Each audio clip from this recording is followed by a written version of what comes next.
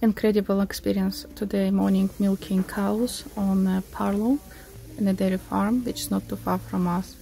Really really grateful to the farmer who given me the opportunity and invited to take a round and give him a hand. I've learned really a lot and it's unforgettable experience and to see first uh, like first experience hands-on where the milk comes from how hard is this job this is something really inspiring and you know I would recommend to everyone. If you have an opportunity to go milk or take a look how it is done take advantage of the opportunity. It's worth it